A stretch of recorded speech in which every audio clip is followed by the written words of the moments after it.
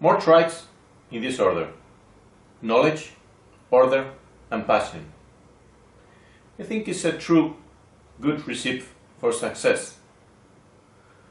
My ingredients will be 40% knowledge, 20% order, and 40% passion. And of course, you may need to iterate through this loop many times. And it will may change the way you do a lot of things and lead you to a great success. That's today's thought.